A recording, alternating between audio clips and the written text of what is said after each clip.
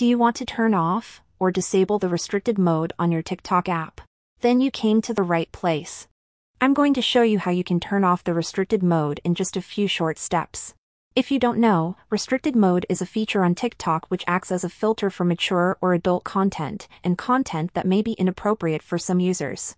This is a good option to enable if your kids are using the phone, but if they're not, let's disable it. Open TikTok on your device and go to your TikTok profile. Now tap on the three lines at the top right corner of the screen. The next step is to open the settings and privacy. Once you open the TikTok settings, you want to find the content preferences button and open it. In here, you are going to see two options so tap on restricted mode right here. And then you want to click on turn off right here. Then TikTok will ask you to enter the passcode that you had set up while enabling the restricted mode, so you want to enter the passcode in order to disable this feature. And you can see that it says that restricted mode is off. And that's it for this video.